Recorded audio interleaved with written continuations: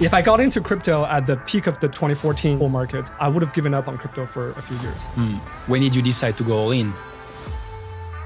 Um, 2017, at the peak of the bull market. there you go.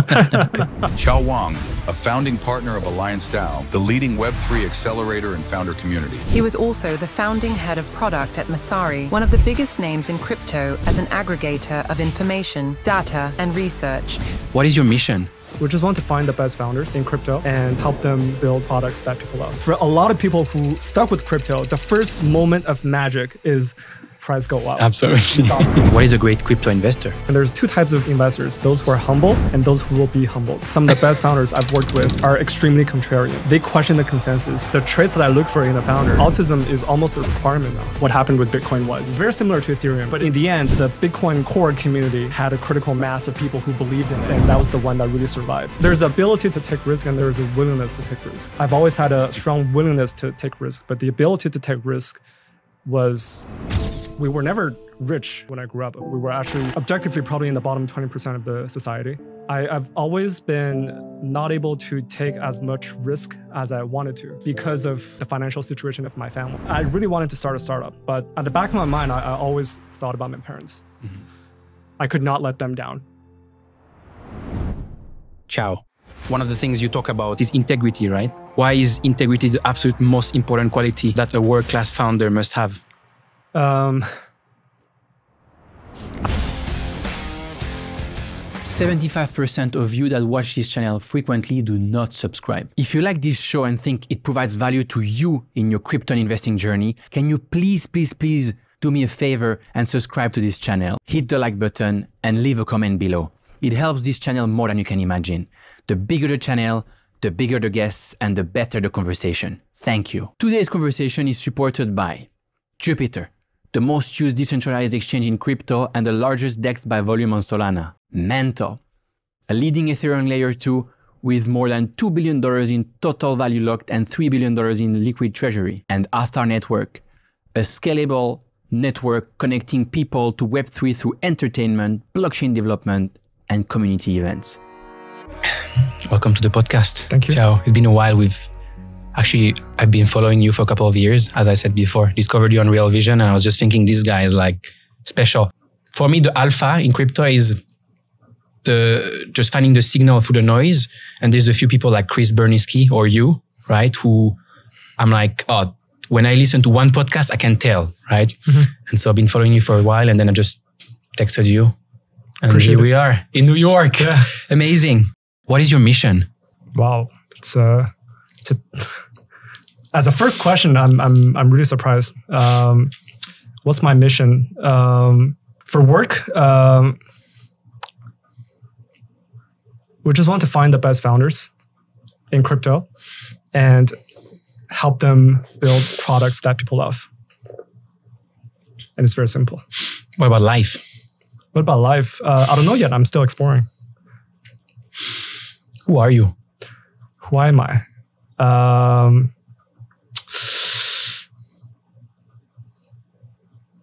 I guess I'm just a guy with. Uh, I have a big family. You know, my you know obviously my wife, two kids, and but also my parents who live with me, and then my in-laws who are like ten minutes away from me, and then a, bun- a bunch of uh, adjacent uh, extended family uh, nearby. So um, a lot of my life is just uh, just hanging out with my family outside of work. Is it something common in the culture to live with your parents, or what's the? It's not. I don't think it's common. Uh, it's also not really practical for most people. But um, the way it happened is uh, by accident. Uh, I uh, I had my first child since COVID. Uh, well, shortly after COVID, and then I, w- I was in New York at that point with a small family, uh, just my wife and and that's it.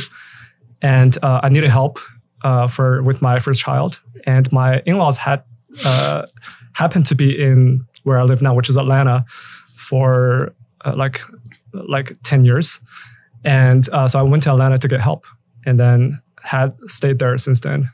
And then later, I moved my parents from Montreal to to Atlanta. So my parents have been in Montreal for like almost twenty years. Uh, by the way, I grew up in Montreal. Um, because I've always wanted to be at least close to uh, my parents. It's been a goal for like 15 years, and then since I graduated, and it finally happened. You wrote that the most perseverant people I know all have a massive chip on their shoulder. Mhm. They always seem to have something to prove, no matter how much success they've already had. Mhm. Many have endured uh, early life trauma. Mhm. Both Musk and Jobs notoriously were raised by an abusive father. What's your childhood story? And did something happen that can explain your level of success in life? Um, first of all, I don't think I experienced that much trauma in my childhood. Uh, I think my life so far has been pretty smooth. It's been a, a smooth sail so far, and um, I think I've gotten lucky twice in my life. Uh, the first time is being born to a great family, to a great couple of parents, and they taught me a bunch of things. Um, we were never rich uh, when I when I grew up. We were actually like objectively probably in the bottom twenty percent of the society in terms of like income. Uh, I you know we lived uh, off of um, you know the Canadian government social welfare welfare program, uh, paycheck to paycheck for uh, many years. Um, but my parents have always told me that no matter what you do, uh, no matter what happens to our family, we'll always send you to university. Mm. We'll always pay for your tuition.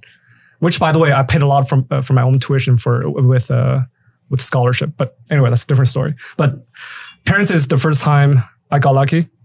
You can't choose. You can't Mm. choose your parents. Uh, but I got extremely lucky there. Uh, the second time I got really lucky was my wife. Uh, I met her uh, in uh, 2012. Uh, sorry, 2000, 2013.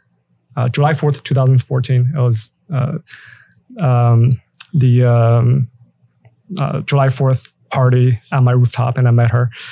And uh, started dating a year later. But the, the reason why I say I, I got lucky with my wife is because I think she's just really understanding of uh, everything I do, really supportive. Um, she has her own career, um, her own um, ambitions, um, but at the same time, she really took care of uh, me and, and the kids. And I would not have been here without her. So you think it's impossible to get really far on your own? Oh, I absolutely think you, you can get really far on your own. Mm. But for me personally, um, well, let me tell you some of the the um, the I guess some of the impacts that, that my childhood experience have had on me. So I think one of it is that uh, I, I've always been not able to take as much risk as I wanted to because of my background, because of how the the you know the economic, the financial situation of, of my family. Not being able to take as much risk, but even then, I, I still take more risk than the average person by being crypto. Like obviously, by being into crypto really early shows your your risk level of risk affinity. But I, I've always wanted to take even more risk, and What prevented you to do so? Is it like a it's something always in your mind that yeah, is it's always risk like averse? what would happen to my to my parents if I Mm. if I were to start a start, startup in my you know uh, in the early days you know right after college if I if I wanted to I, I really wanted to start a startup um, but my fam like at the back of my mind I, I always thought about my parents um, so I got a pretty uh, safe job safe job Wall Street finance job which pays really really well at that age uh, and what did uh, you do? I was a trader. Mm. Uh, I was a quant trader. Uh, quant trader is actually different from like, you know, the TA trading stuff that you see on crypto Twitter. It's very, very different. It's writing software, uh, very low level distributed systems, which then led to like my interest in, in crypto because that's also low level distributed systems. But anyway, uh, quantitative trading is building a lot of um, software and it's the PNL is really, really consistent because you're able to trade very often statist- like you have a statistical edge uh, in the market. That's how you were able to make a decent amount of money at a very young age. Um, so that's what I did. So going back to tying everything back, Mm. I got a job in quantitative trading instead of starting a startup. But back to your question earlier, uh, can you go really far without your um, significant other? Obviously, you can. But in my case, um, how I was able to later, after the, the finance job, to to go really deep in crypto, both from investment and professional point of view. Uh, it was basically my wife who gave me this support, both financial and psychological support, to take even more risk. So, I think risk taking is a uh, your your ability. There, there's ability to, to take risk and there's there's a willingness to take risk. And mm. I've always had a strong willingness to take risk, but the ability to take risk was, I think, a lot of that had, had to do with with my wife. Where do you think the willingness to take risk comes from? Is it something innate? It might be innate. It might be it might be nature. It might be nurture. I don't know. Mm-hmm. Um, or do you think it's the? It, I mean, there could be kind of double-edged sword. Like one side is your parents gave you so much confidence or self-confidence yeah. because maybe so much love that you feel like you're capable of like anything. Or on the other side, you had such a tough childhood that you want to take risks because you want to prove something to people, right? I didn't have a tough childhood at all. It was we are just financially slightly, I mm. mean, the bottom quartile mm. or something. But I had a really great childhood. Mm. Um, but yeah, I've honestly, I, I don't really know if my drive is comes from just the DNA or or was it something that my parents did to me? I don't know. I have no idea.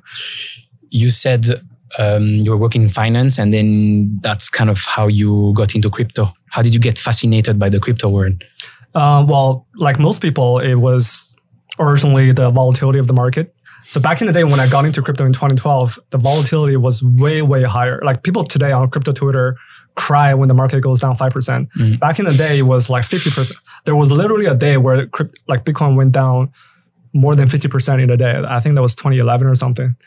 But at that point, I didn't buy any. I was just that was the, the kind of market that that got me curious. Mm. So I started paying attention. Uh, it's volatility of the market, but there was a, a very concrete point in time when I realized I started to really understand the value proposition of crypto. Was uh, I was a trader and I really like uh, I really liked uh, low risk, high return, very consistent type of uh, trading strategies, and one of them was arbitrage between betting different betting platforms, mm. which later le- leads me to pay attention to Polymarket. By the way, we can talk about that. But back in the day, I used to arbitrage between different betting markets around the world. A lot of them were offshore, and that is really important because when you wire money to an offshore betting platform, um, the IRS does not like it. The banking system does not like it. So there was a point where I was I was making decent money by doing these arbitrages. And at, at one point, I wired my entire net worth, which wasn't much at back then, but it was like twenty thousand dollars, and that's above the ten thousand IRS limit. Mm. So I wired my entire net worth to a bunch of uh, offshore betting exchanges, and it got stuck in the banking system for half a year. and that was when I realized, holy shit, I need to buy Bitcoin. Mm. And then I the, the, the, as soon as I got the twenty dollars back, I, I, I sent I wired that money to this random bank in Japan, uh, which is behind Mt. Gox. Mt. Gox, yeah. what happened after that? Uh, and then the price started going up. That was for most people. That's actually the the opposite, right? They're like, finally, I got my twenty k back. Then they buy, it goes down fifty percent. So I, I, think I think you, you can get really lucky by just being at the right time because for a lot of people who stuck with crypto, the, the first moment of magic is price go up. Absolutely. You got richer. Period.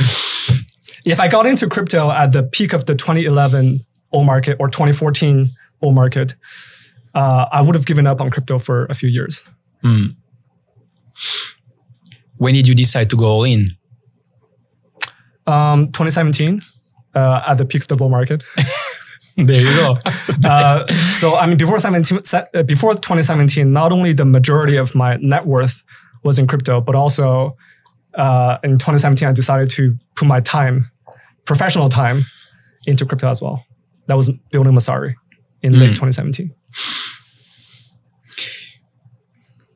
I recorded a conversation with Thomas, one of the co-founders of Kamino, last week in mm-hmm. London, and he said that one of the person who was the most supportive to them and help them keep their conviction in the Solana ecosystem at the bottom when Solana crashed to eight dollars post FTX crash was you. Yeah, Marius loves me. I love you too, Marius. If you're watching this. How did you know that the, that Solana would come back when everyone was completely depressed?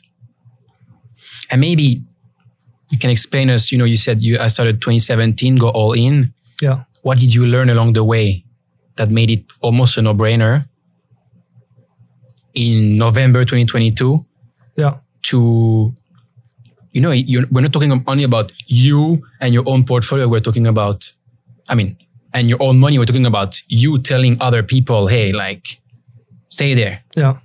Um, I think there is a story well before 2017 that was the DAO hack, the Ethereum DAO hack. So the collapse of FTX in many ways was, to me, it, it felt really similar to the DAO hack in 2016. So the, for, the, uh, for those who don't know, the DAO hack was uh, uh, a bug in the Ethereum, or not a bug, a bug in the in one of the dApps uh, called the DAO, which is a dApp that's, that was built on top of Ethereum, and there was a major bug in that uh, set of smart contracts, and it got exploited.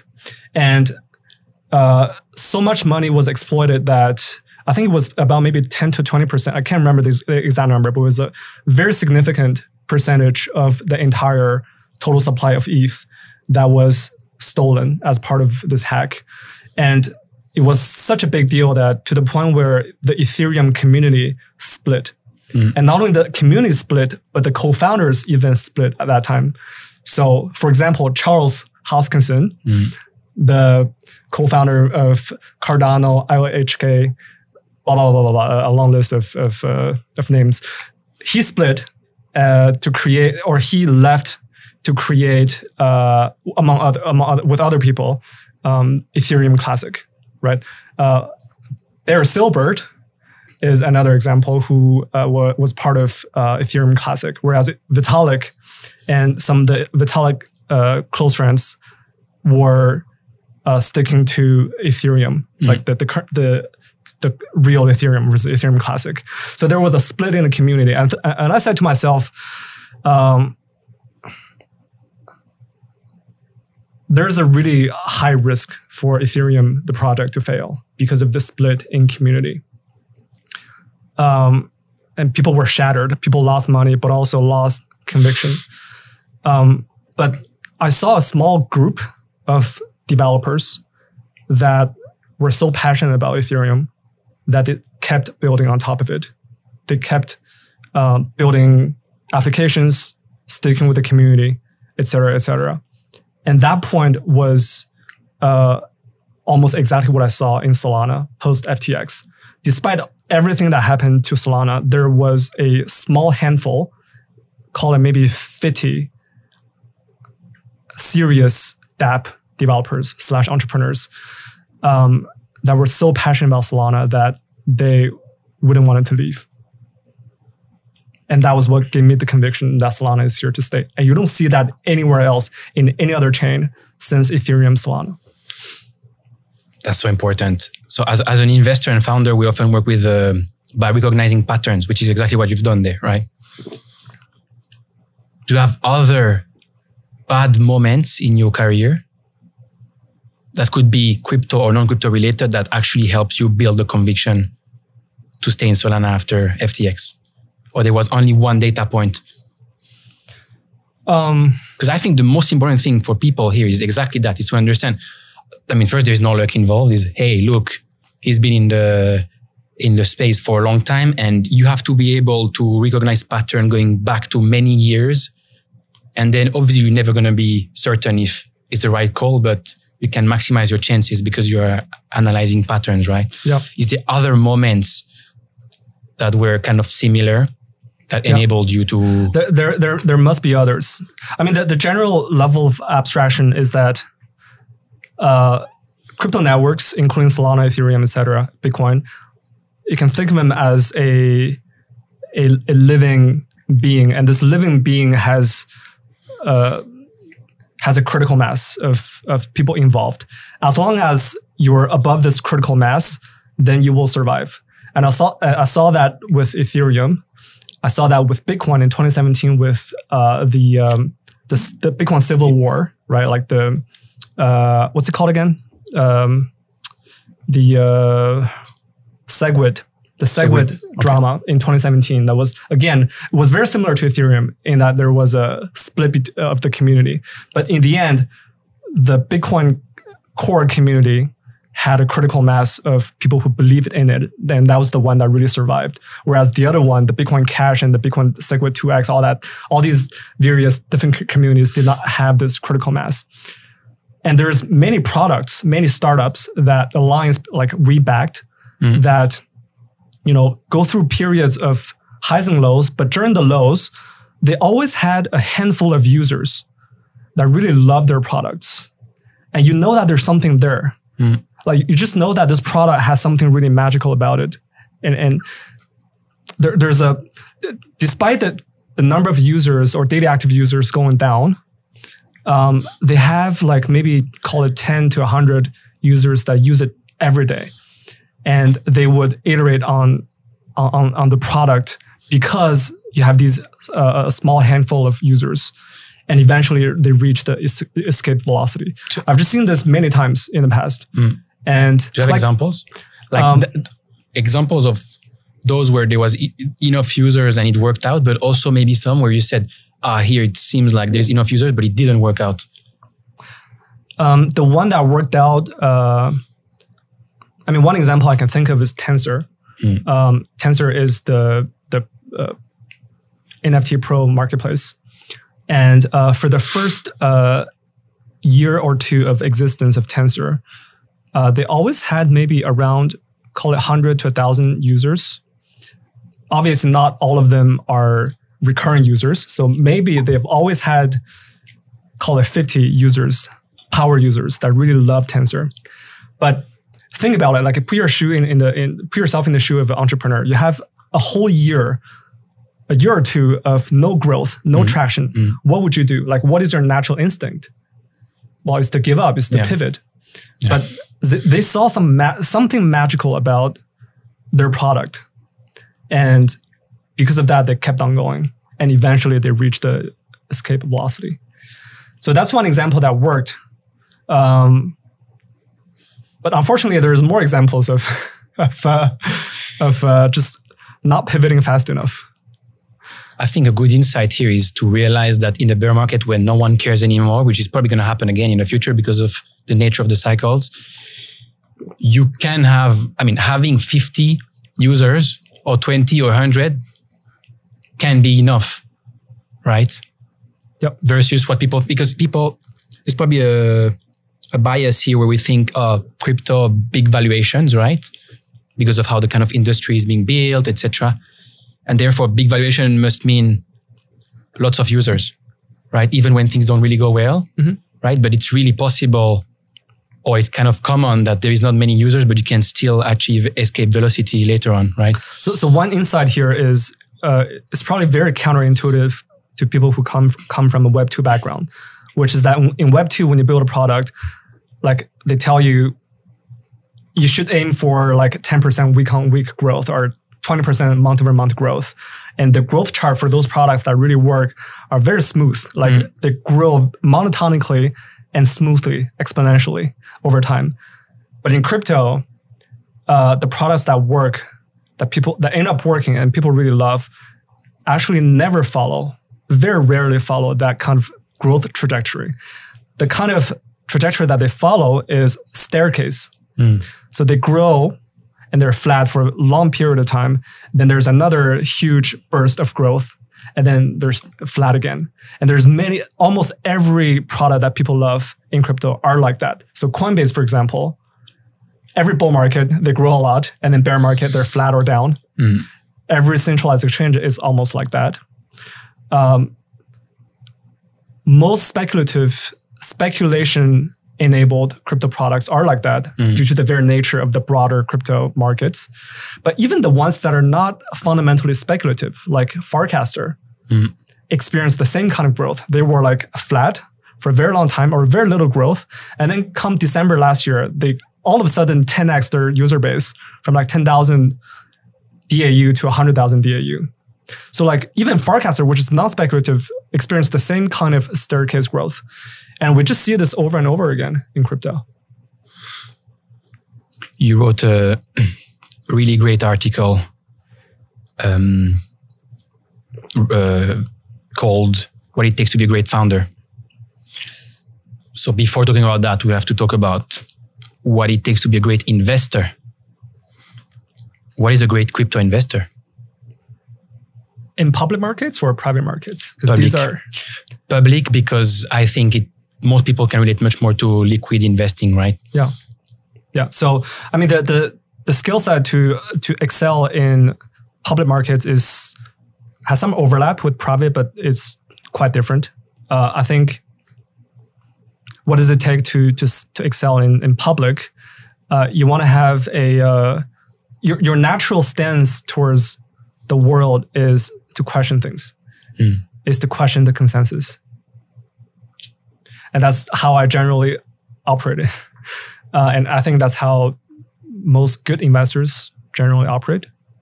Um, and, by the way, this is also this is true in both public and, and private. Mm. In any market, you want to have your default stance towards the world is to is to question things. Um, By that, we you mean being contrarian? Be contrarian. Right. Question the consensus. Question. Qu- think about what people say all the time. That is that is incorrect. How do you train at that? I don't know, to be honest. Uh, it might just be something you're born with or something you develop as a child. So, would you say that if you're born optimistic, you might be a better founder? Because to be a great founder, you need to be kind of overly optimistic, almost like having this kind of de- de- delusional yep. sense of self belief. If you want to be a great investor, you need to be almost cynical about everything and kind of I, I, think how do you how do you balance both? I think optimism and questioning the consensus or thinking independently in, in a contrarian way, these are ortho- these are actually not correlated. These are orthogonal to each other. And in fact, some of the best founders I've worked with are extremely contrarian. They question the consensus because the, fundamentally, what what is building a startup is figuring out an insight about the market, about the users that no one really understands. Yeah. That that is fundamentally the first step to building a, a good startup. And the best founders are always the ones that really question the consensus and figure out something really, really deep about users that no one else understands. So I think, that, as a matter of fact, the, the best founders and the best investors share the same trait of being contrarian. You're actually saying um, in the article, right? If you don't have a contrarian take, you don't have a startup. It's not just investors that must make contrarian bets, so must founders. Absolutely the the, wor- the worst pitches I've seen are the ones that uh, basically repeat what people say on crypto Twitter, especially what VCs say. There's nothing interesting about these. Mm. Naval calls judgment the most decisive skill. He says, in an age of infinite leverage, judgment is the most important skill. What is judgment? What is judgment? I'm not sure exactly what he means by that. So he's saying like judgment is knowing, it's kind of like wisdom, mm-hmm. knowing the long term consequence of your actions. Mm-hmm. And so that's that's what separates great investors from others, right? Mm-hmm. It's kind of what we talked about before um, when um, I asked you some examples that enabled you to be bullish at the bottom in Solana, right? Mm-hmm based on your experience, you're basically building and developing your judgment and saying, mm-hmm. oh, look, this is like I recognize by pattern, something that you could not have done maybe earlier in your career, right? Mm-hmm. How do you develop judgment?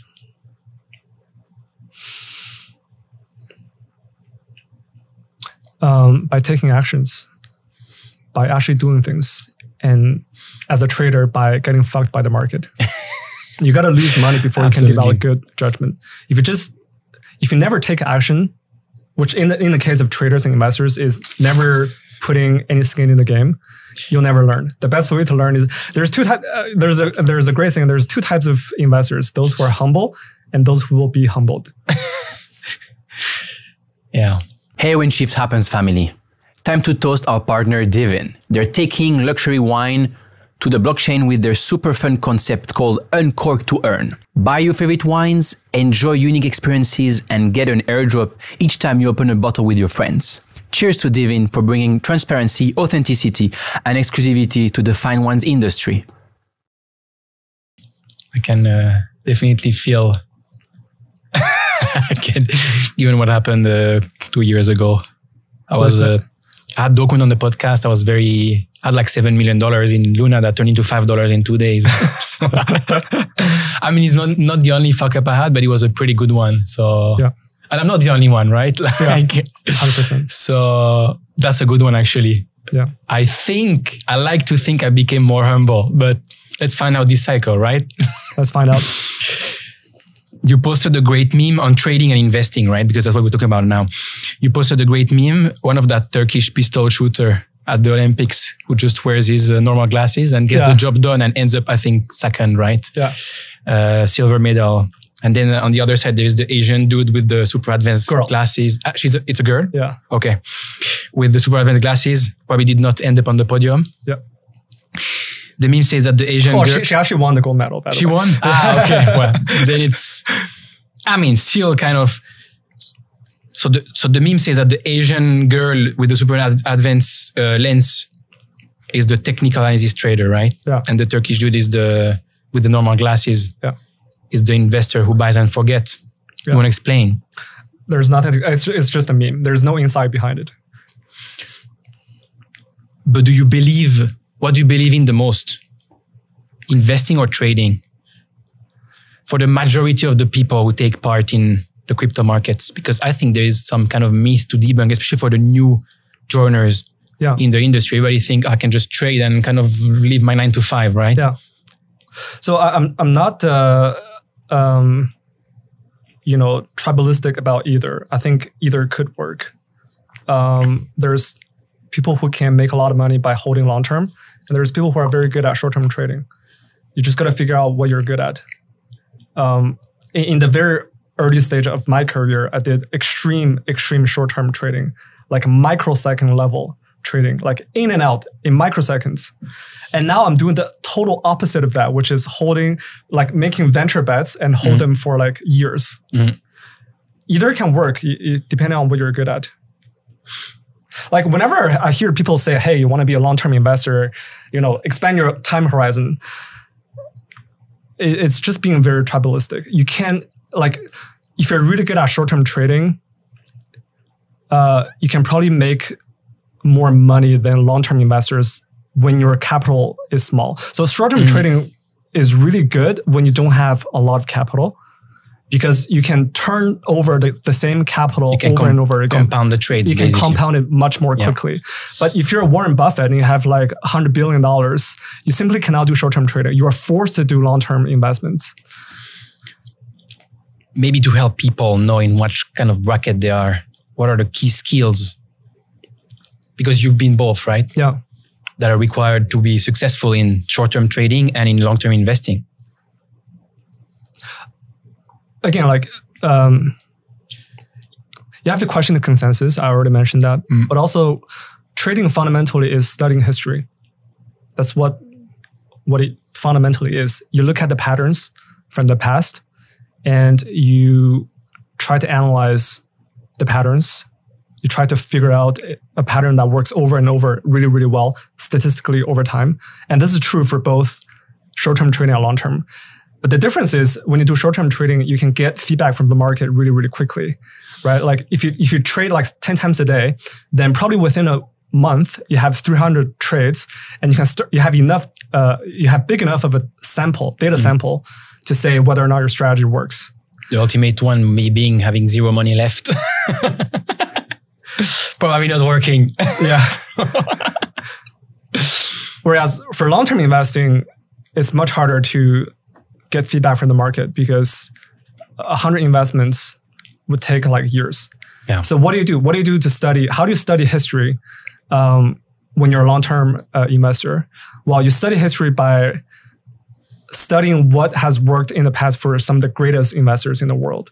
I love reading Warren Buffett's um, his his strategies, his philosophy, his the mistakes he, he's made. Uh, you can learn a lot. You can study history by reading what some of the greatest investors have done in the past. How much do you think the kind of old or boomer way of investing applies into crypto? Because there is all these I mean, it's not only talks, but like if you look at okay, maybe last cycle, I had Arthur Cheong on the podcast. Yeah. Was amazing at uh, getting early into some really great protocol with strong kind of fundamentals, right? Which Yeah. was working last cycle. This cycle, we talk about meme coin later, but like this cycle is very different, right? Yeah. Much harder game. How, how, what do you still think about kind of value investing in crypto? So, um, so people think of Warren Buffett and uh, Charlie Munger as as uh, value investors, but my understanding is uh, they actually evolved their strategy over the last uh, you know 90 years. They've lived for 90 years. Their strategy actually evolved. Um, in the early days, Warren Buffett before Warren Buffett met Charlie Munger, he was a like pure value investor. He, he would be looking at PE ratios and you know uh, PB ratios, like like basically compare the price to the revenue that the company generates. And the lower that ratio is, the more undervalued the company is, and the more you want to invest. But when uh, Warren Buffett met Charlie Munger, the latter really changed the former's uh, philosophy of investing. So Charlie Munger said, uh, "It's much, much, it's far better to invest in companies, uh, to great companies at fair value, than to invest in fair companies uh, at a low value." Interesting. And if you really think about that, that is not, that is more like growth investing than value investing because what, what really, what constitutes a great company is a company that has great cash flow and hopefully grows over time consistently. That is to me more like growth, growth investing mm-hmm. in- than value investing. So if you apply that same idea to crypto, I think, you know, I think Charlie Munger's idea kind of kind of works, kind of works in crypto. You want to look at protocols or tokens that grow over time, and growth could mean on-chain transactions. It could mean TVL. It could even mean, uh, you know, narrative. attention Attention, Yeah, right. absolutely yeah so it's not ah look this one is making that much money but no one cares about it it's going to catch up it's ah this one maybe doesn't make much money there is already good attention and there might be even more attention in the future therefore this is the bet right Yep. I, I think um Warren Buffett got really lucky by meeting Charlie Munger because his original strategy is called uh, uh, they call it uh, the cigar butt strategy, like investing in companies that are are fair, not great, fair companies at uh, extremely low price. They call it the cigar, cigar bet, a cig- cigar butt strategy. That strategy worked really well until the 1980s, and then between 1980s, or maybe um, yeah, until 1980s, and then 1990s, 2000s, growth strategy started to work really well with the advent of the internet because the internet is all about growth. yeah So the original value investing strategy stopped working, and then it became growth. That, that's when Charlie Munger's strategy started to shine. and it makes a lot of sense because if you think about it, there is a finite, I mean, you can argue there is a lot of money printing, but there's a finite amount of capital to be allocated to more and more company being built or more and more token being created, right? And it's where is this money going to be going? And it's probably where there's the most attention and not necessarily the most rational way of saying, oh, this is a good business. I mean, I talked about with Alex Svanevik and many people, we talked about Lido, for example, right? Yeah. And many protocols were thinking like this should do so well, but it's not, right? Yeah. And so it makes a lot of sense. It's a very kind of like a very basic way of thinking, which is people bet their money where the, their attention is going and where their kind of excitement is going about the future and not necessarily about the present on how well things are doing, right? Yeah. Like you, even if you think about the stock market in the last two years, the best performing stock in the S and P 500, Absolutely. Nvidia. And in Absolutely. hindsight, it's such an obvious bet. And there was there was no way you could put your money into Nvidia back in 20, 2022. Hmm. You know, shortly after ChatGPT, based on fundamentals, based on price earnings ratio, or based on price book ratio, or whatever those you know old school fundamentals investment strategies Yeah. you could just make a lot of money by reasoning about AI. Like you can you could just say AI is going to be the future, It- and then it's kind of again thinking about patterns. I mean, I was kind of too young, but like it's kind of like uh, the iPod moment or the iPhone moment, right? I don't know what the kind of like fundamentals of Apple were back then, but if you use the product and you're like, this is so good, you might think, oh, now I'm going to bet for the next five or 10 years on that because it's so good. And I think everybody's going to want, want to love that. Yeah. Or maybe Tesla. You drive a Tesla, you know, and you say, this is so different. The experience is so good. I remember a couple of years ago saying, which like made me invest in Tesla is because I hear Chamath saying on the TV when everybody was saying Tesla is shit, uh, etc. He was saying something like, "You can't deny the fact that once you kind of put your butt in a Tesla and drive it, your expectation of what's driving a car is changed forever in the future, right?" Yeah. And when I hear that, I was like, everybody hates Elon, everybody hates Tesla, and Chamath, who is like so smart, is actually talking about user experience and in there, right? Probably a good bet if he says that. yeah. So it's kind of similar, right? By the is uh, just curious when you say every, everybody hates Elon, is it a? I feel like every European I've seen, like a couple of years ago, I was just looking at the the actually it was American TV, right? Yeah. And they were all against him. Oh, Again, that's because- obviously it's because of the I didn't understand back then yet, Yeah. right? Yeah. I didn't understand the You whole mass now. media. Now it's becoming more clear, right? Yeah. But um, it was kind of like a signal of like everybody, like everybody, um, mass media doesn't like Elon. I mean, now I understand why, right? Yeah. The whole thing is becoming clearer by the day. it's but like, political. yeah, completely. But the years and years, it was 2019. Yeah. I didn't, I didn't understand anything Yeah. yet. I'm not saying I understand everything today, but I start to smell right. Yeah. the- the- what's what's happening go- here, Going right? back to the Tesla example and uh, was uh, the iPhone example. The other reason that gave me the conviction in Solana back back at the bottom was I just tried the products, yeah. the Solana products, and I started using the Solana products in 2021 for about like for over over a year before the collapse of FTX. I mean, the products.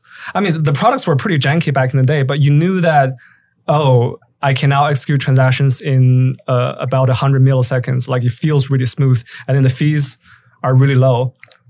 You could just feel that it's it's going somewhere. It's gonna go like the you can feel that uh, the Solana-based products are no longer limited by the blockchain. And it sounds so simple, but most of the great investments are that, right? Most you you start you're like, I if I we, we often say right, why do you own an iPhone but don't own Apple stocks, right? Yeah. So if you love to use something, you're probably not the only one, right? Because we're probably more all more average than we want to admit, right? So it's probably a good sign. But we always think, oh, what's the futuristic product? What's the futuristic thing? And in investing is the same. What do I love? Like think it's right in front of you, right? absolutely. Um, same, same thing happened with DeFi Summer. I, I, I really love DeFi because you, you, you, can try the product and feel the magic. And same thing, I mean, there, there were many reasons that got me into Bitcoin, but just sending a transaction with Bitcoin, the first Yeah. time you send the transa- transaction was magical. I think in crypto, you know, all of crypto, there has been two fundamentally magical moments, truly magical moments. The first time was Bitcoin, sending your first Bitcoin transaction. The second time was DeFi Summer, when you can do more more interesting transactions than just uh, you know sending a payment mm. with with DeFi because mm. you, you can you can trade mm. like like transactions become two way rather than just one way. You could lend and do other things with DeFi. That was like the second most magical moment. Yeah, I think we called it. Uh, I can run a hedge fund from my room, right? Like I can be a nobody. I mean, I remember. I mean, I got wrecked on that afterwards, but I was. I remember doing some uh, bLuna Luna arbitrage, right? Yeah. And I was printing like crazy amount of money, and I was like, ah, but it's because my cap- Luna capital is big, but I'm making 1.5 percent every 21 days, right? is this too much? Ah, no, hedge funds are able to do that, right? And you start to think the amount of possibilities that are possible for normal people. I mean, the whole thing went to shit, but like at least it's completely new, right? Yeah. Something that you could not do before. And, and by the way, this, like this is one of the biggest alphas for anyone in crypto, whether you're entrepreneur or a trader or an investor. Most people are just too lazy to try the products. yeah. They just it's much easier to scroll crypto Twitter and see what people say, Yeah. like what people are buying, than to actually use the product because the crypto products are pretty janky. But if you can get over that hurdle and just get into the weeds of trying products, you're gonna you're you're gonna outperform a lot of people. It's so simple, right? So simple. so uh, underrated. Yeah, yeah, absolutely. we talked about uh, kind of the buy and forget strategy. Yeah. Not talking about uh, what you guys at Alliance, but your personal portfolio. Is it what you do? What do you personally do with your crypto portfolio? How do you play the cycle? Um, I mean, the, the vast majority is in the Bitcoin, Ethereum, Solana, and Coinbase. Mm. And then occasionally, you know, I do some uh, short term, like when I say short term, I mean a duration of a few months, kind of like narrative trading rather than medium to long term hold. So I got into WIF pretty early. most most people probably know. Yeah. And um, yeah, that, that's the kind of short term trading that I do. But yeah, long term, like there's only I looked at like the top 300 tokens, and I looked at the supply to market cap overhang, like the, the supply overhang. Basically, ho- what percentage of the tokens have been lo- unlocked? That's a that's a very important factor to look at. And I looked at um, whether or not those projects have real, you know, traction or or users that love them. And ultimately, I think the set of tokens that um, satisfy these two criteria, Bitcoin, Ethereum, Solana, Coinbase. How do you split between the four? Um, I am, I am overweight uh, Bitcoin and Solana. Why? Um, relative to Ethereum, I, I think Ethereum is overvalued compared to Solana. I'm not saying Ethereum. Is, Mhm. I'm not saying I'm bearish Ethereum. I'm just saying Solana is, by objective uh, metrics, it's undervalued, and also by metrics that only I have access to, meaning the founders, Mhm. the entrepreneurs. More and more entrepreneurs are going to Solana than on Ethereum, and in fact, a lot of entrepreneurs are going from Ether- that are building on top on top of Ethereum today are going to Solana than the other way around. So I can see where the puck is going in terms of developer activity. So I'm I'm overweight Solana versus Ethereum. Bitcoin is just pure product market fit. It's just the best store of value, uncensorable store of value, and no one will be able to challenge that in in anytime soon. do you play markets, market market cycles, or do you just say, "Oh, this is my core position. There's the four of them are so big, and I understand that I can't outperform a buy and hold strategy. Therefore, these four I'm going to keep for the next forever." I try to play cycles a little bit, um, but it's really, really hard. So I think I actually tweeted about this, but my first cycle, um, I like held held my positions Bitcoin all the way down, um, down like eighty percent. Second cycle, I sold too early because of my PTSD from the first cycle. Uh, I sold like maybe at uh, 40 to 50% of the peak. Mm. That was 20, the 7, 20, 2017 cycle. And the third cycle uh, was the, the 2021 cycle. I remember the tweet. I sold uh, maybe 30% below the, the peak. Huh. Um, so every cycle I got a little bit better than the last one, but you're you're just never able to sell the pico, pico top. But last cycle I bought the pico bottom. I bought within eight hours of the pico bottom. So you get you. I mean, I, I got better over time, but it's been like fucking 15 years. exactly. very very long feed, feedback loop. But so but, but the key thing is, even if I play the cycles, I don't try to sell everything, and I don't try to YOLO into everything at the bottom. I sell maybe like 20 to 30 percent, uh, because the the downside of getting wrong on the on the top is you're gonna miss a lot more, right, of the upside. So I tried to sell maybe 20 to 30% at the top and then try to buy double my position at the bottom, if that makes sense. What's the typical journey of a crypto investor through his or her first, second, and third cycle? Typical journey, yeah, like I said, you you just uh, hold everything all the way down to zero. in my case, uh, 80% down. But I got lucky because I, I was only in Bitcoin. I wanted to ask you, right? So you did still the right choice, which is you don't YOLO in shit coins. Yeah. You're able to say, oh man, like I'll, I'll hodl to, to the moon or to the grave, but the, the main coin, right? Yeah, the, I mean, the first cycle, I didn't even understand the other coins. like there was like uh, Litecoin and uh, Peercoin and all that kind of stuff, which I didn't understand. There, there's a coin about uh, DN, decentralized DNS. Can't remember the name. It starts with an M. Uh, and then there's Peercoin, which which is the original proof of stake. Anyway, back in the day, ten years ago, I didn't understand any of these coins. So the only thing I held was Bitcoin. Mm.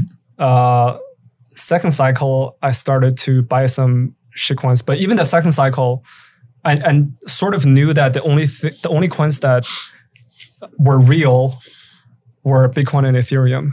Mm. So in fact, when I tried to sell the top, I sold the shitcoins, the long tail of shitcoins. Into? Into fiat. Into fiat. Yeah. That's a very interesting one. You know what's real, right? Maybe last cycle was Bitcoin ETH. Maybe this cycle you can say what's real is Bitcoin ETH Sol, right? Yep. Another myth to debunk is how complicated it is to outperform the real coins with shitcoins. Even if there is smaller and it's smaller, li- lower liquidity, it's actually extremely hard to outperform. Especially, for example, let's take Solana this this cycle, right? Extremely hard to outperform. Uh, I had Raoul on the podcast. He's saying, "I'm just if someone comes with a shitcoin to me, I'm just charting against Sol, right? I'm trying to look at the trend.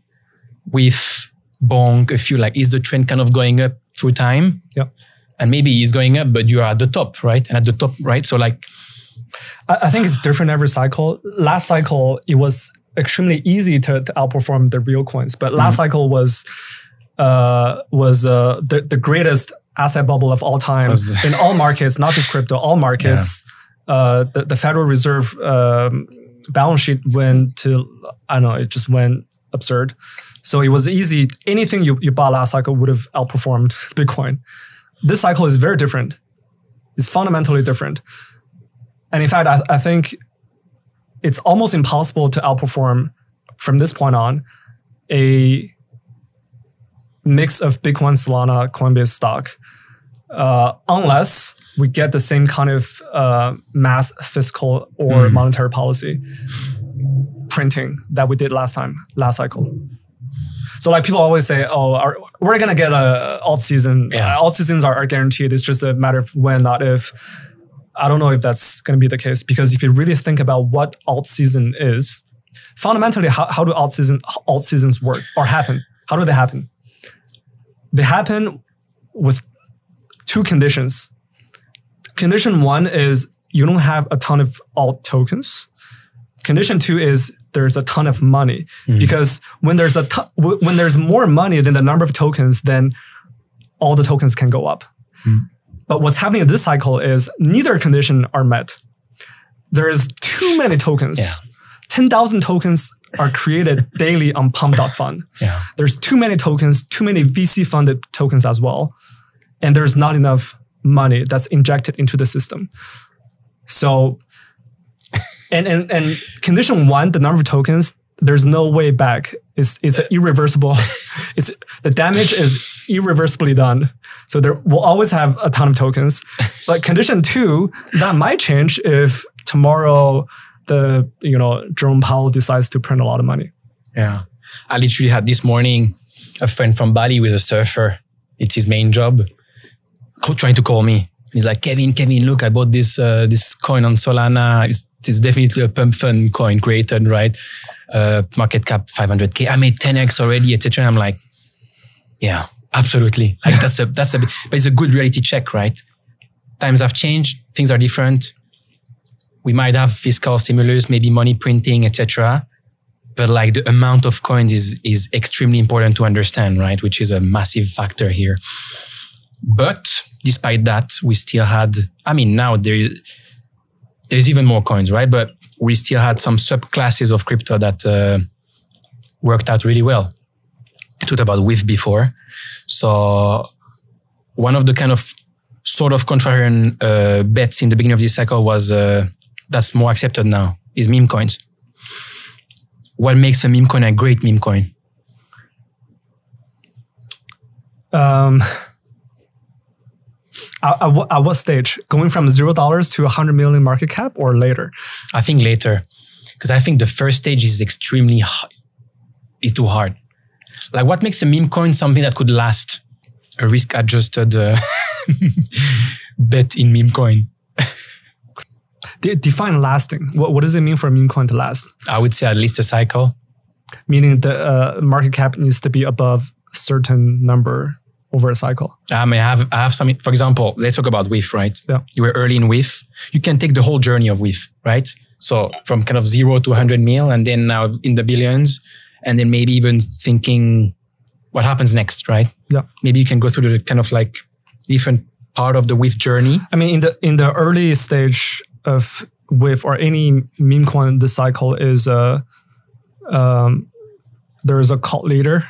In the case of WIF, it's Ansem. Yeah. um, and the meme itself needs to be actually pretty good.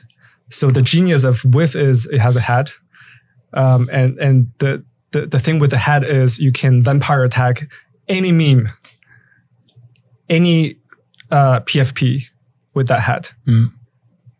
So you can tomorrow you can add a head to your Twitter PFP, and then everyone can do that. So the hat actually makes the meme go viral uh, a lot better than without it. So so the the, the actual innovation with WIF is the hat. Um, so the meme needs to be good. There needs to be a call leader, and I think these are the key critical conditions in the early stage. And then for the meme to sustain even longer, ideally you get listed on Binance. Um, and that happened with WIF at around a billion dollar FDV. But that condition is harder harder and harder to meet over time because uh, exchanges are not going to list every single meme coin on the planet. Uh, in fact, they're they're getting more and more strict with listing new tokens, not just meme coins, any new tokens. They're getting more strict. Um, I think these are the conditions. If you think about what happened with Dogecoin, I don't know if Doge had a like call leader in the early days, but the meme was certainly very good, very organic. Mm. It was it was one of the most popular internet memes. And then later on, they had uh, listings from a bunch of centralized exchanges. Do you think the meme narrative is over? Because we went through this kind of meme coin craze, right? Mhm. Now the whole market has kind of like cooled down a lot. We had like crazy liquidation a couple of weeks ago. Mhm. I mean, crazy liquidation that happened, I'd say like one once or twice a year at least in crypto in general. Mhm. So it's not uncommon.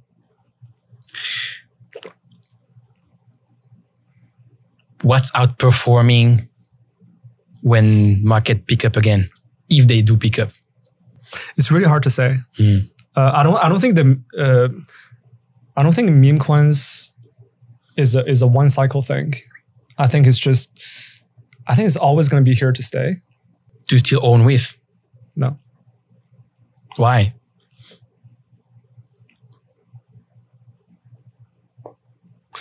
At this uh, FDV, uh,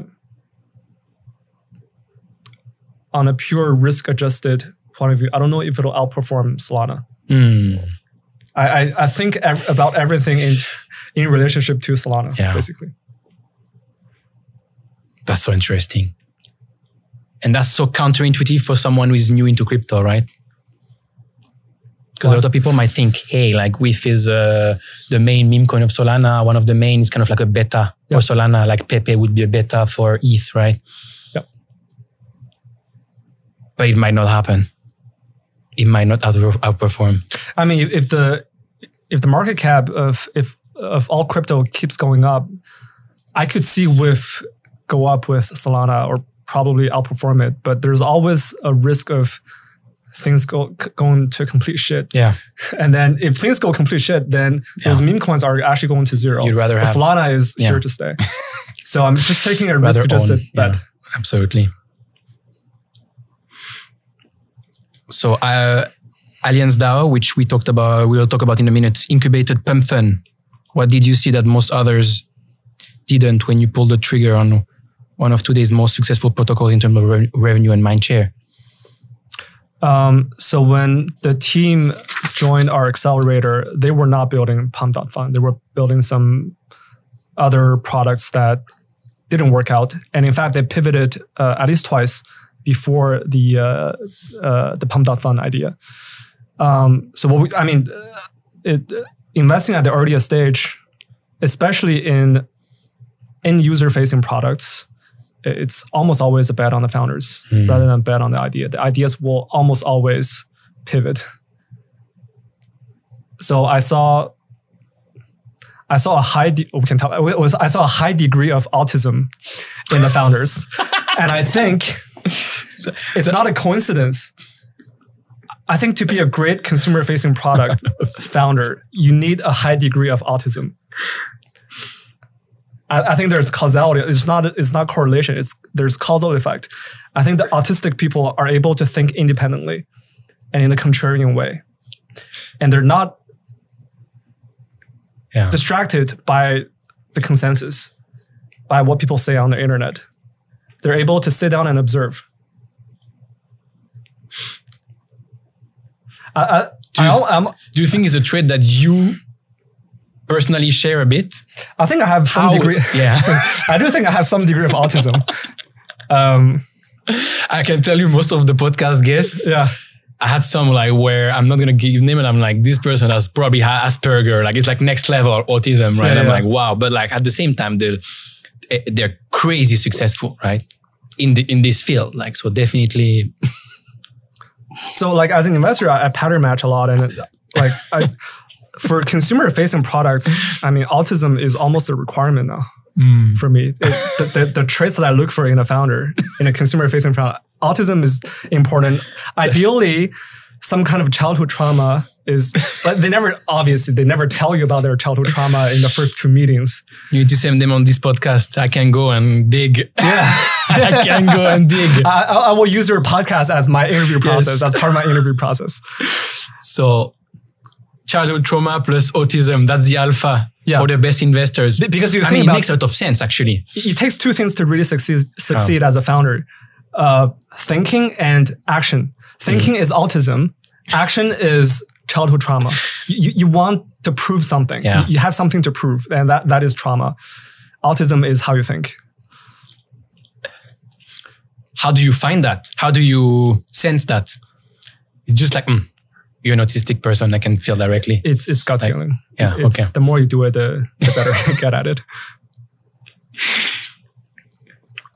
What is Alliance DAO? we invest in uh, autistic and child continue, continue. We invest in autistic. we invest in founders who show high degree of autism and uh, childhood trauma You do. That's gonna, be a good, that's, gonna be, that's gonna be a good clip. I'm being tongue in cheek, but ultimately, that's sort of what we do. Amazing. Why did you build Alliance? So when I left Messari, so I had been with Messari for three years, was founding head of product. Um, I really enjoy the zero to, one game, Hmm. but I hate the scaling game.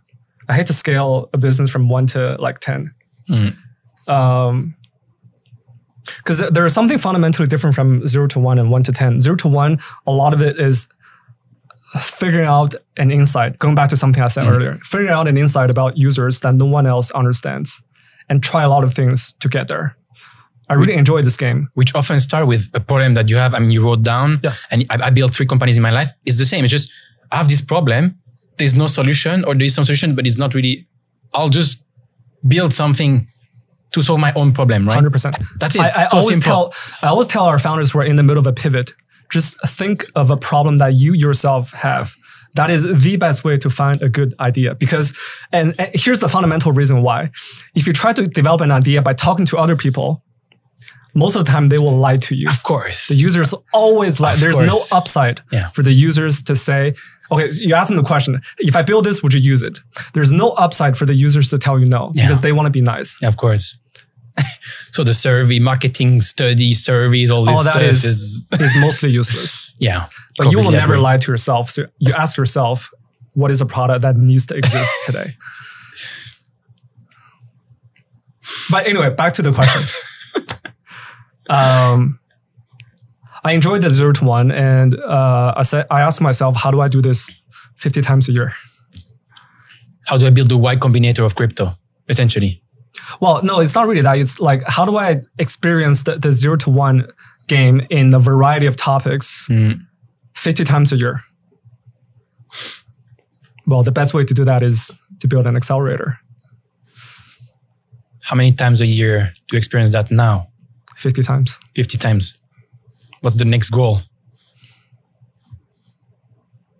I mean, if we can scale, great. If we can scale from 50 to like 500, great.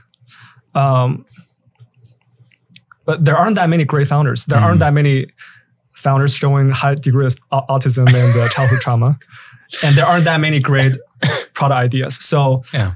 um, ultimately, the number is driven by the market. One of the um, things you guys organize to find more uh, founders with a high degree of autism is a hackathon, right? Mhm. You choose Luca Netz as a judge for the next Alliance MVP hackathon. Mhm. Why?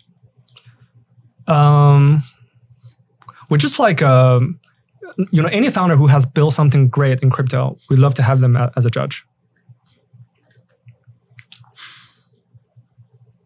As an investor in more than 200 projects with Alliance, what do you think of what Luca Netz is building with Pudgy Penguins and now Abstract? uh, Pudgy Penguins uh, and, and NFT communities in general is very counterintuitive. It's not a traditional business. You start off by building a community. You launch a JPEG that is, you know, that a lot of people can, that appeals to a lot of people, and then you start. And then in the case of Pudgy Penguins, you start developing products. So like those toys, Walmart uh, toys at Walmart, uh, for example, and then they're developing a game. Those toys. Those toys. beautiful toys. And then they developed the game. Yeah. Uh, it's called Pudgy World, right? Yeah. And then um, what else did they do? But but basically, they, they start off by building a community that which then evolves in- into a product, and that is very counterintuitive. That's very uncommon. Um, but you see more and more and more of the of that today. Like for example, like one thing I can I can think of is uh, Bryan Johnson Mhm. and even Balaji. Mhm. Balaji is like the network state, whereas uh, Bryan Johnson is the, the Don't Die community. Die. They, they both have they both start off as a community, especially in the case of Bryan Johnson. He's, he starts off as a community. Uh, a lot of people watch his videos and uh, his content, and then now he's selling products, supplements.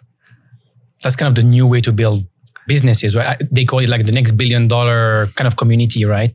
Which today with uh, AI and it's kind of becoming the, the, the, barrier to entry to build anything is much lower. So the, the way to go is build a community and then it's going to be valuable forever. And then you can build product around it, right? Yep. And it's, and it's the complete, is the exact approach of what an NFT project should do. It's not what most of them do, right? But what they should do. Yeah. I actually can't think of many other NFT communities that that did what Pudgies Yeah. are doing. Like which NFT communities are actually developing products? I don't know. I don't know. I don't know. Do you own a Pudgy Penguin NFT? Um, can I say I used to, but I don't have it, I don't anymore Why? because the price was going down. Ah, So I paper handed. Really? So you, you you kind of more had like your trader cap there.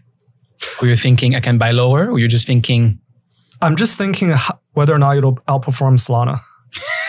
love it?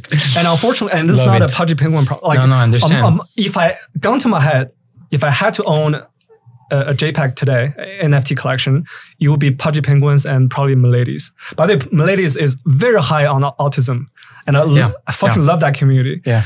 But the problem with NFTs in general as, as an investment asset class is because, because of the very nature of non-fungibility and therefore a very high floor price, mm. it's very hard to attract new capital. And therefore it's very hard to outperform Solana. and you need these conditions, which is more liquidity, right? And more money in the system. But there's already so many tokens, so many meme coins, and then there is so many NFTs, and people need to choose that, right? Yeah. Absolutely. Uh, but if your goal is to outperform Solana, then why do you hold ETH? Um, there's a little bit of, uh, it's not really for financial reasons. I'm, I'm just, uh, I'm almost like emotionally married to ETH a little bit because I've been with ETH since the beginning, 2014. Okay. It just feels really bad to to dump everything. Did you buy the ICO? Yeah. Okay. Fair Got enough. really lucky there, by the way. so, I mean, I the- I understand that you don't want to sell. I, I I've been selling for Solana, Mm. ETH for Solana, but um, and I'm almost done selling. but I, I just it just feels really bad to to get rid of something you, you've been part of since the beginning. Like for me, ETH is like an NFT community now. Yeah. Understand. Let's dive a bit deeper into what it takes to be a great founder. Right? We talked about before insight, right? You don't have a if you don't have a contrarian take, you don't have a startup. There's another one, perseverance. You wrote it's plausible that perseverance matters even more in crypto than in other industries. Name any other industry that goes through a complete boom and bust cycle every four years, or another industry that the SEC chairman makes it a personal mission to annihilate, or another industry where all the main characters end up in jail in less than one year. I chuckle every time I see tweets like I aged three years in the last 24 hours, or I survived the great bear market of 2022, uh, 20th of uh, November. This is not an industry for the faint heart, faint of heart. How do you maximize the chances of survival in a bear market as a crypto founder? Uh, the easiest way is uh, you have no skill sets in any other industry. you cannot pivot into any other industry. Uh, that is actually the truth for many crypto founders. They just don't have, they don't understand any other industry. In fact, in the last bear market, uh, there's a lot of founders that did pivot away from crypto to AI, AI, for example. yeah. And these are some of the smartest people. They can pivot into any industry they wanted to.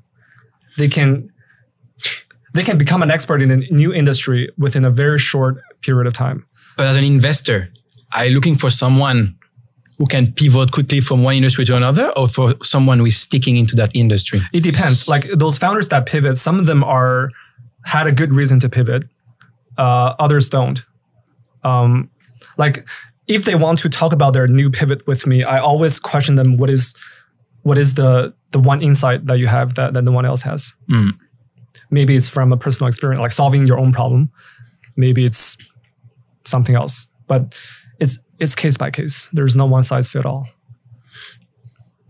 But yeah, I'm, I, I was being tongue in cheek. uh, having no skill set is. Uh, uh, I was being uh, tongue in cheek, but it's also the truth. Right. Um, um, how do you survive in the bear market? Is you just really have to love crypto. Mm. You have to love pain. You have to love pain, but also you have to love crypto. That's the ultimate test, right? Who is there when everything is going to shit and Yeah. everybody is shitting on crypto? Who is still there building? Who is still there around? Ultimate test. Yeah. Absolutely. Another one you mentioned is uh, having a co-founder. Mm-hmm.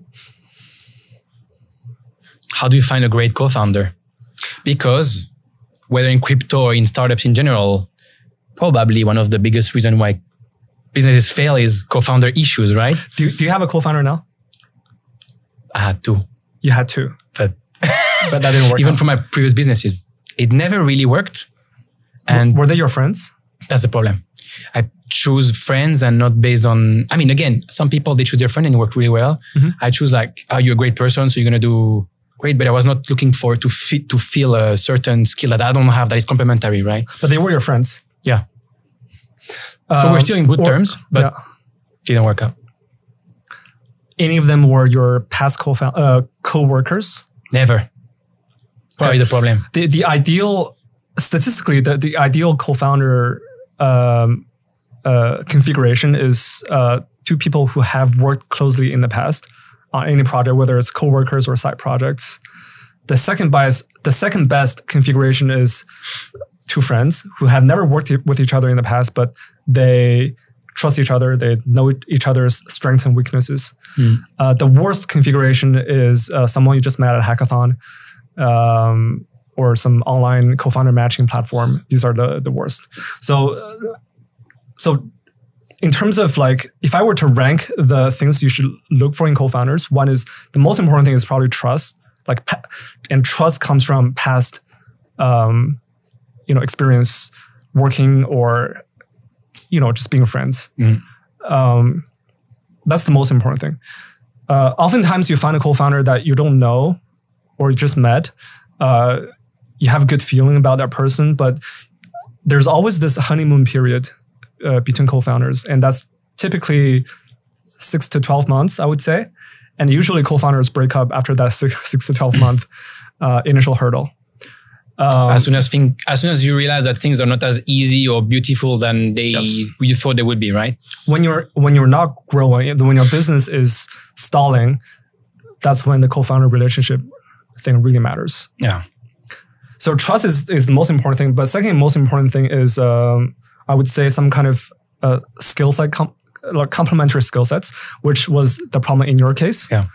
You didn't find a co-founder who's, I guess, I mean, I think like the main thing that I learned is you have to understand what the fuck I'm building, which is hard because you don't know what you're building, right?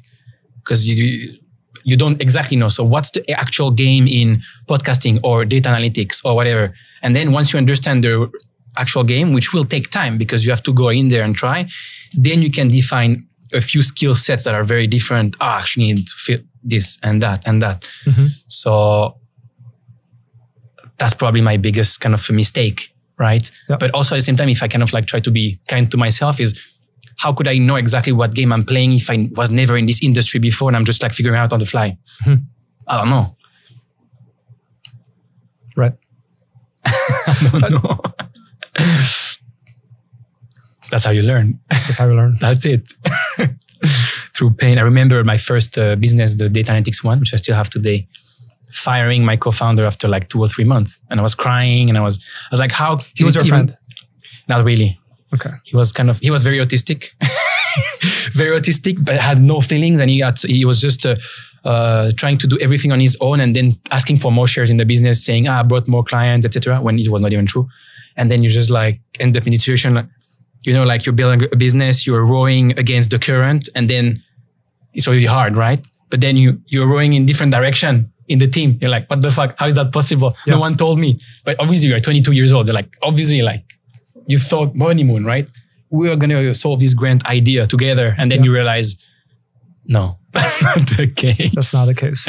And I was just crying and crying and crying, telling him like, we can't continue. Yeah. Because crying because I couldn't believe that this would happen so early, right? Yeah. But it's a good learning. One of the things uh, you mo- talk about is integrity, right? And uh, actually, Buffett and Naval Ravikant, they say uh, in terms of picking people to work with, pick ones that have high intelligence, high energy, and high integrity. Why is integrity the absolute most important quality to uh, that a world class founder must have? Yeah, like integrity is basically uh, it's a multiplier, and that multiplier is either plus one or ne- or minus one. So it, the, the formula is very simple. It's uh, intelligence times uh, work ethics times integrity. Intelligence and work ethics are absolute numbers. Uh, They're positive numbers. The higher, the better. But at the end, when you have integrity, if you're integ- if you have in- integrity, it's a positive one multiplier. If, if you're yeah, you're low integrity, you're minus one integrity. Yeah. You're your minus one multiplier. So if you're really smart and really hardworking and you have no integrity, then that's actually the, the worst possible.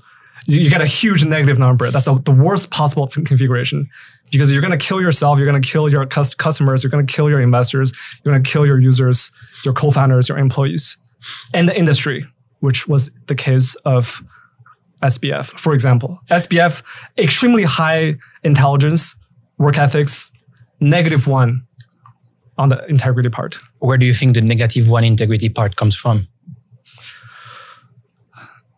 In his case or in general? I would say in general. Is it something that you could start with good intentions, but Yeah. then like things become too big and you lose control and you kind of like in denial, Yeah, which is I- very common for founders being in denial, right? it, especially in crypto, it's uh, I- I, I don't I don't necessarily believe that uh, I, I believe that people do change, like and money changes people, Hmm. and and when you get too rich too quick, uh, it can change you. so you don't believe in the money doesn't change you, it amplifies you. You think money can change you. Money can. I mean, I'm not saying this in in the absolute sense, but from what I've observed, uh, there's a lot of founders and traders who start off. I'll, I'll I'll be very. I might be very controversial here, but Do Kwon. I, I met Do Kwon in the early days. I didn't see him as a, a bad person per se, but I think he just got too rich too quick, and he started to make decisions that are bad for himself and and the users. Hmm. I, I think that the overnight success, success and the overnight money does change at least the way people how people make decisions. It changes their utility function. Maybe SBF is the same same kind of person, but I don't know. I, I definitely saw that overnight success changed Do Kwon, for example. I think you wrote, right? Warren Buffett said it best. I look for three qualities, integrity, intelligence, and energy. If you don't have the first, the other, the other two will kill you. Hundred percent. It will kill you and everyone around you. How do you find out as quickly, as quickly as possible if someone has a low integrity? It's so hard. It's so hard. I still I tried to come up with a question for our accelerator application Mm. form To to get To a sense find of out, to yeah. find out, but it's so easy to lie. yeah. Everybody has good intentions, right? Yeah, Everybody's a good person inside. yeah.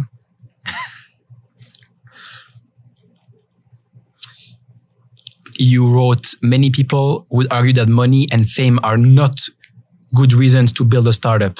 Actually, back to your question, the, the previous question. How do you f- find if someone has is high or low on integrity? Uh, I learned that uh, because our accelerators terms are fairly um, low, like the valuation is low. Hmm. We invest at the earliest stage, our valuation is low. That's understandable. But because of that fact, we self-select into founders who uh, are less opportunistic or, or less of the Understand?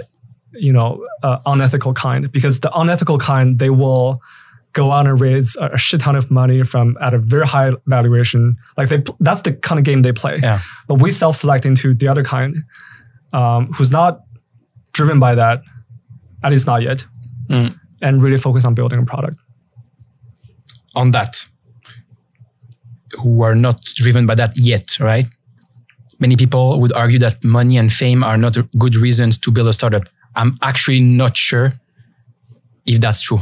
yeah Can you develop? I just I just found so many good founders that just straight up like they, they never tell you like when you first meet them never tell you hey I'm here for the money, but after a while like they, they start to tell you like the truth.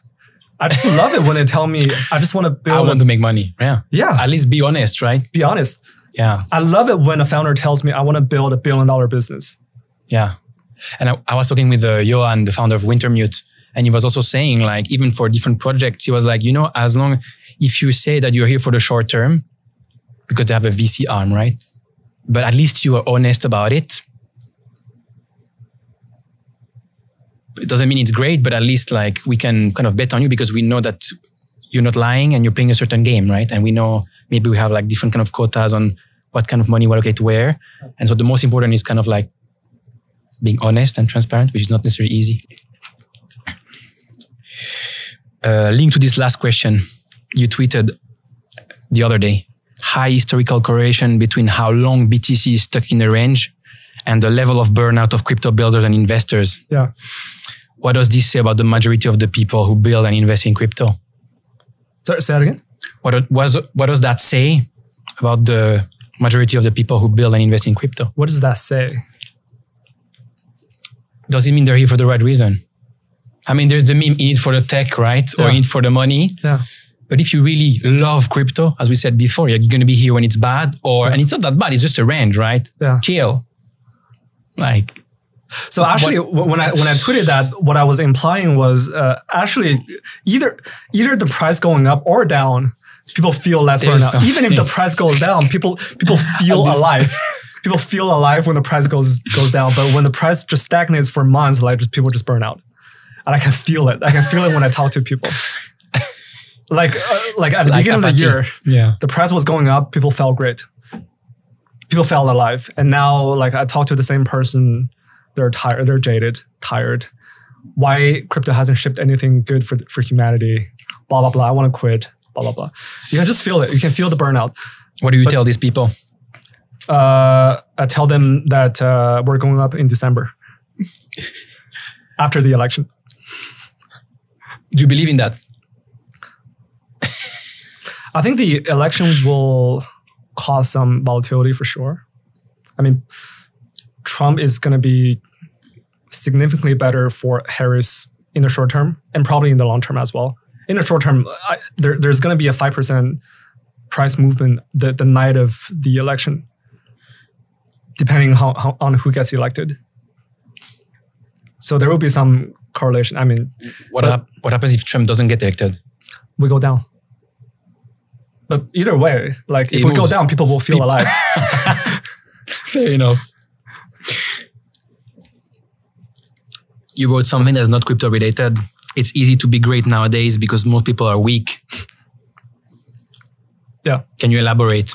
Well, I just think most people, just most people are, are uh, by weak I mean both psychologically and physically. Psychologically, most people are just uh, they can't think independently. They're always looking for the tribe, their own tribe. Uh, they're looking for approval rather than the truth. I think that's just being psychologically weak. But that's what most humans are, right? I think that's what most Kind of human- sheep. Like I mean, Yeah. without being mean, Yeah, that's human that- that- nature. that's human nature. Um, most people are followers. Yeah, and um, you know, there's also some behavior, human behaviors that that uh, really emerged in the last like ten years or so with the advent of smartphones and social media. Um, there's very strong evidence that smartphones and social media are killing people slowly. There's much higher degree of ADHD, suicide, depression, anxiety since 2012. Just the, just the ADHD part. I would be lying if I don't say that it impacted me a lot. And I was talking at the beginning of this podcast a year ago. I was talking to the founder of uh, blockchain.com, uh, Nicolas Cary, and he was saying a year ago, he was saying, "I'm building this company. Things worth like I don't know, 14 billion. Like I can't read a text. I can't read an article anymore without, like I can't. Yeah. Right? It, it's a superpower to be able to focus on something for hours. Yeah." It used to be not the case. Like everyone used to be able to focus for at least 45 minutes, but nowadays it's most people can't anymore. How do you do that? How do I try to stay focused? Yeah. I actively limit my time on TikTok. Uh, and the other only social media I use is Twitter. I don't use, you know, Instagram, Facebook, Snapchat, blah blah blah. But TikTok But is just so fun. But even Twitter is extremely addictive and It is. But kind of alter, like day day altering. You, you- you might argue, oh yeah, but I get some good news on there and I know what's happening, but Yeah. it's a bit of cope too, right? Because if you're actually building, probably can spend way less time than yeah. we all do. So right? for, for me personally, it's uh, a little bit easier to not get a, addicted to Twitter because every time I tweet something, there's a lot of toxicity. So I, that, there's a lot. I don't want to get I don't want to get uh, criticized more. yeah, exactly. So I, I'm uh, I only spend I only spend maybe like five minutes tweeting per day and then five minutes reading just because I have natural aversion to to Twitter. But otherwise, Twitter I think Twitter is a great product. Um, TikTok is really addicting, and I, I I have a time limit on my iPhone. what do you watch on TikTok? Uh, I watch soccer. Uh, a lot of Ronaldo and, and Messi. Okay. The, the Ronaldo enough. and Messi tribes are really interesting. They're shitting on each other. Yeah. Uh, uh, TikTok is extremely smart. As soon as you have one or two videos, it's like they understand exactly on another level what you want to watch next, and it's just yeah, it's crazy. it's, it's really good. It's TikTok's crazy. really good. it's crazy. I think TikTok is the best product in, in like social Yeah. entertainment An addiction. And addiction. So I, I have a daily limit for myself, and I turn every app uh, off at 7 p.m. because I go to bed at, at, at nine between nine and 10. So I need two hours away from uh, any screen time. And you manage to not click on the button where you just like Yeah, it just creates skip this, uh, or is there not an additional lock or something? exactly that. There's an additional one. Yeah. Okay. I probably need that because I have like from I think 10 p.m. or 11 p.m. until 9 a.m. But I just click on the thing, right? Every time Yeah. on WhatsApp call, ah, I'm logged out. Oh, I just click on the thing. Okay, it's back on the WhatsApp call. Yeah. No effect. Doesn't work, right? Doesn't work. Doesn't work.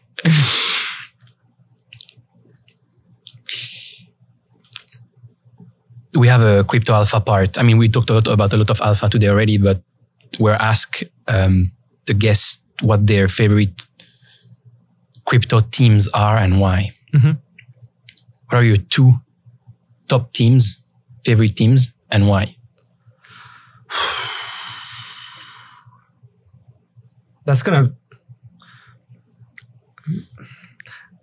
I mean, we, we, we invest in like 200 teams, and Yeah. if I mention two, that's going to make the other 198 teams really. Uh, but uh, my favorite teams are actually the ones I I interact the most with. And by the way, there is a high correlation between my level of interaction and their success. There's some causality there, and there's some correlation. But I really love the Tensor team. Uh, why? I think they're both very high on autism and and probably some childhood trauma. I, you can feel it. I don't know their trauma exactly, but you can feel it. You can feel the trauma because they just have something to prove. Just have something to tru- to prove, and they, they think about products very uniquely. Um, so my my so there there's um I, I give a lot of advice to our like product advice, like product feedback to to all our founders who want my feedback, and um, they're the founders who don't take my feedback. There's a lot of founders who don't take my feedback, but the founders who don't take my feedback are either really, really, really good or really, really bad. Mm.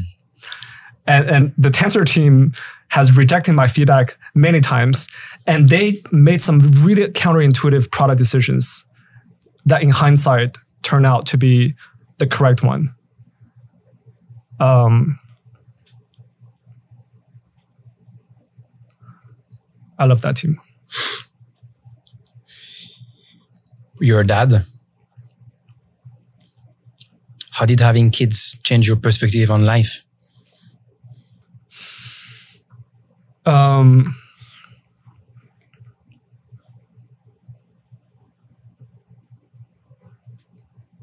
I think kids are just most magical thing. It's magic. Like my, my daughter is uh, my, my son is uh, five months old. He's mad. He's like he's not at an age he, he doesn't understand anything yet. But my daughter is three and a half, and she's like the most funny and interesting human being. I often wonder, like, if, like, how much um, damage the the just growing up in the society has on your sense of humor and your creativity. Like, I haven't seen many people who are funnier than my daughter. She just says things that are just, just really out of nowhere, really unique and funny and humorous.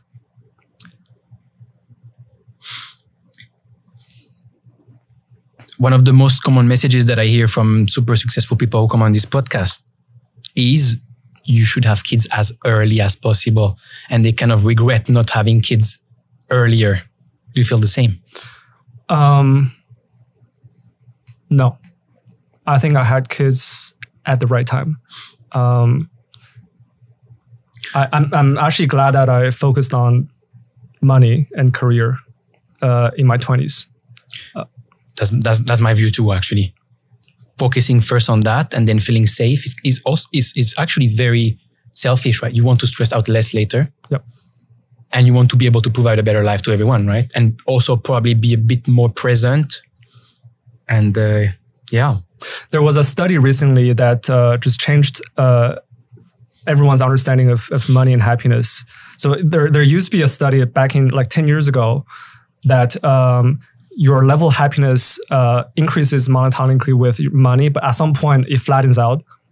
And that point is like, I don't know, 100K or some 150K per annual, uh, sal- uh, you know, per year of salary.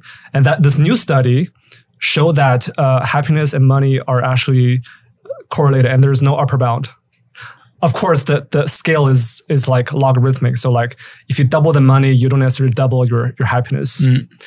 uh, i actually like the, the re- you know the reason why these two studies uh, show different results i think it's probably a matter of methodology and maybe sample and maybe their the author's own bias.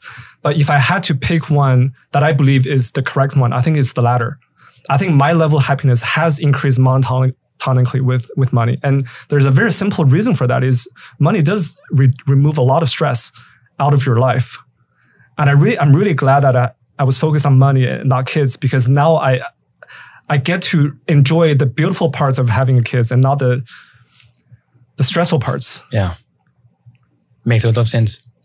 I've been thinking like that since I'm 23, actually. I was thinking like that.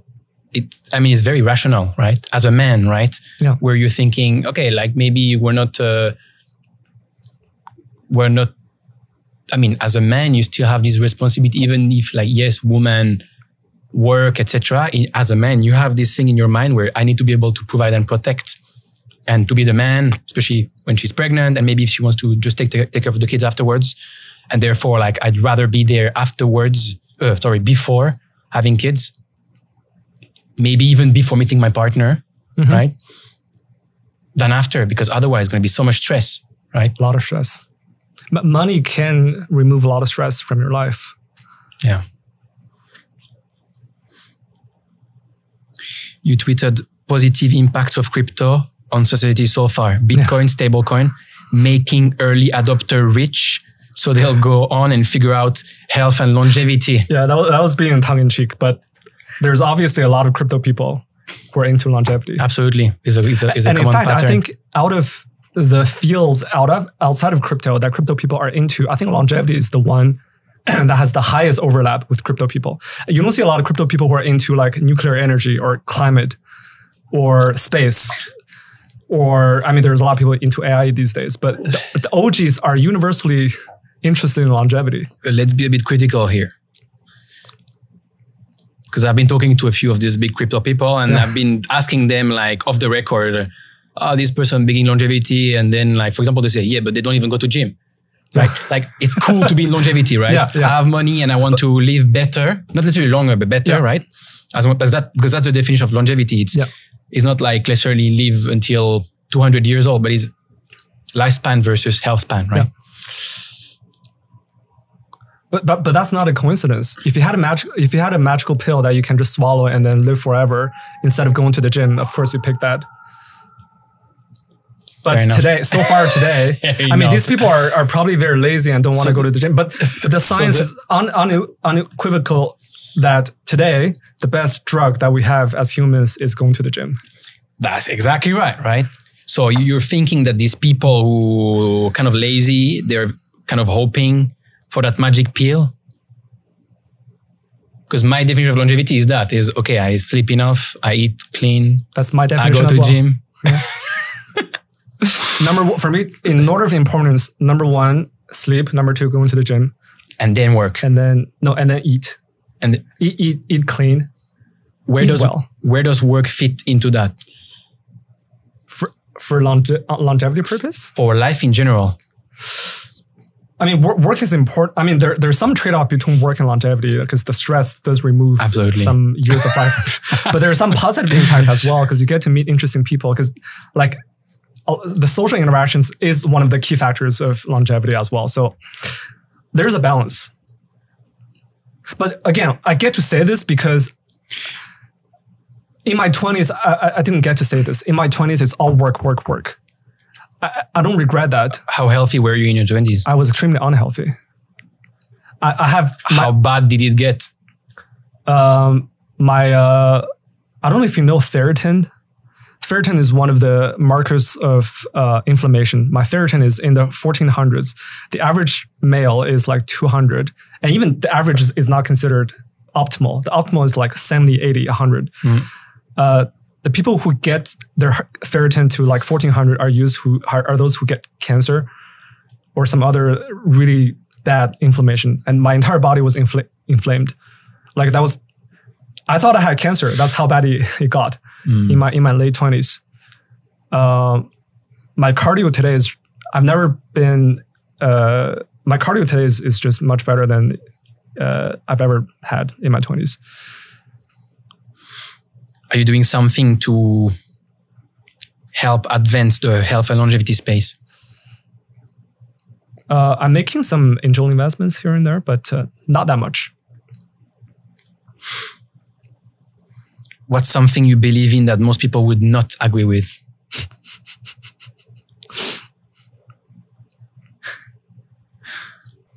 I do have something in mind that I think most people will not agree with in the public, but they will agree with me in, in the private. Uh, I think the I think that the whole political situation is getting absurd, and I think the the modern liberals, not the classic liberals, the modern liberals in the last five years, uh, are net negative to society. You wanna Elaborate. uh, this whole I mean Kamala Harris is basically a Marxist period by definition he announced she announced the her her her, her very first concrete policy I saw that. was press controls Yeah. there's that I mean there's like that's just uh, absurd uh, financial illiteracy I think most people will at least agree with me in, in private in public I don't know because Kamala Harris is a woman and, and she's a minority. Mm. So most people publicly will be on her side. Um, that's that's part of the something that I, I think you know just net negative to society. Um, a lot of the ideology that the modern left, again by modern left I mean really the last like three to five years.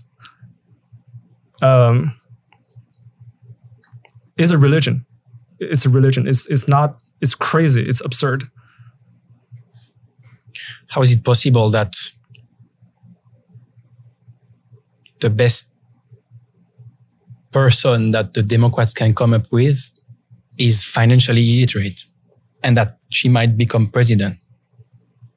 What's kind of wrong about the system that makes it that there's no kind of better options? Yeah, that's a good question. I don't have an answer. I wish I had an answer. if I had the answer, I, I would have. Uh, You would be the president. I, I would. I would at least help the, the society to to build that system. Yeah. But it's crazy that that we end up with uh, the two choices we have is a Marxist and a clown. Uh, I'm voting for the clown because I think the clown is uh, will do less damage than the Marxist. Uh, but I wish we had better candidates. I mean, like on both Yeah. both par- candidates from both parties in the last couple of decades were better than what we have today. Like I like Obama. I liked even Bush. I liked Clinton. Yeah. Like all these are decent candidates. I've been hearing a lot of, uh, yeah, I'm going to vote for Trump because he's less bad. Yeah. But you're not like, there's better, it's like less bad. And it's, uh, I mean, when you think that president of the USA is probably one of the most important roles on the planet and people vote by less bad, it shows that there's a kind of underlying issue. Yeah. What's your biggest prediction for next 12 months? On anything. Anything. Um, Bitcoin will be higher. How much higher? 100K. What's the top of this cycle for Bitcoin? I don't know. The range is huge. What's your range? Somewhere between 100K to 42069 because we live in a simulation. I mean, last cycle we ended at 69, 420. I mean, it would be perfect if the next one is uh, 420, 69. Amazing. Thank you so much for doing that. That was an amazing conversation. Appreciate it. Thanks for having me.